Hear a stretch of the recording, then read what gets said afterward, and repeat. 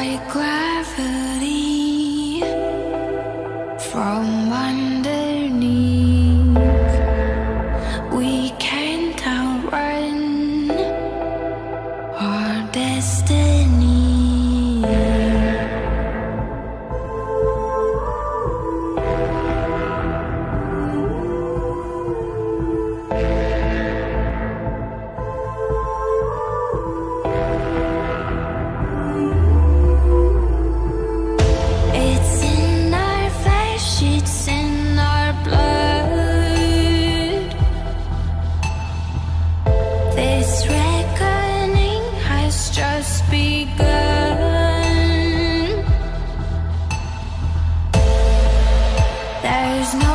escape when fire meets fate.